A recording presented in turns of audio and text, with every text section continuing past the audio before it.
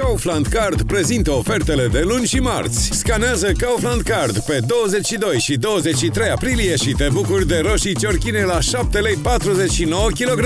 Vreau din România carne tocată de porc 1 kg 12 lei 99 și în plus 30% reducere la toată categoria de alune, nuci, semințe și fructe uscate și 30% reducere la toată categoria de grătare și accesorii pentru grătar. Lucrurile bune vin ușor. Kaufland!